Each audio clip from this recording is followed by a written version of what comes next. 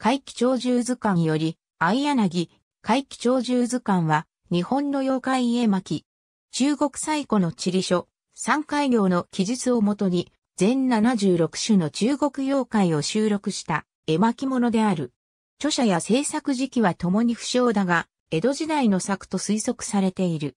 三海行に登場する神、獣や鳥の中から全76種を、鳥類30種、獣類46種に分類して収録している。各々の絵に対してはごく短いものであるが、解説文も添えられている。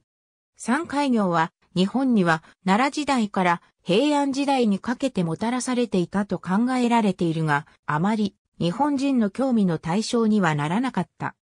中国では、明の時代に三海行に記述された文章に則っった図を掲載した版本などが出版され、日本でも江戸時代に入ってからそれを模倣したものが登場した。怪奇鳥獣図鑑は、その頃に制作された作品の一つであると考えられている。巻中、名称表記や解説に、相柳を、総翼、人志山を、九山と読むなど、三回行本文と比較すると明らかに誤っている箇所が見られる。このことから、怪奇鳥獣図鑑は、三回行そのものを粉本に用いて制作された作品ではなく、三回行の記述が収録された絵巻物あるいは類書などの版本が元になっているのではないかと見られている。ありがとうございます。